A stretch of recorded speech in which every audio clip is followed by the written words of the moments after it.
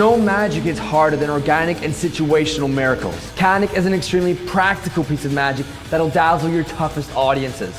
Do you mind grab the can for me? Is it empty? Yeah. Perfect. Touch it. Touch it. Yeah. Touch it. Can borrow one of your hands? Oh, this actually. Uh, okay. Check this out. Can you see the tap yet? So I don't know if this is gonna work though. Watch.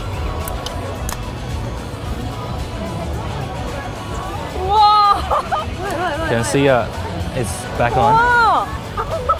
How do you hold this? Hold this. Hold this. Can I feel it? Yeah. Go ahead. Feel it?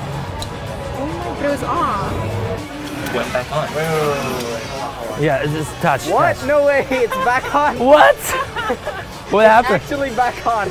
Tell camera what happened. It's actually back on. I thought it was like a magnet or something, but it's it's like screwed back on.